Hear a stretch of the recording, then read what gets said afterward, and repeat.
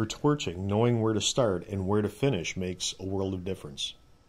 Gain alignment by rolling half of the membrane's length out to keep the roll straight. Torch in the center first, then move from the middle to both ends.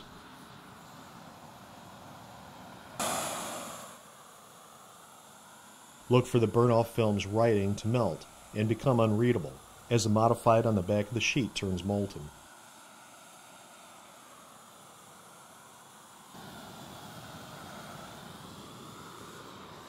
Avoid overheating. Keep puddles of molten asphalt to a minimum. Never stand on the granule surface top while you torch. Stand in front of the roll or on the previously installed inner ply. Using an additional metal hook helps keep the heat away while you gain control.